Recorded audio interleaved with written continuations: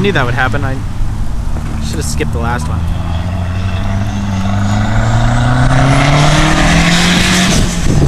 Ah, that's mean.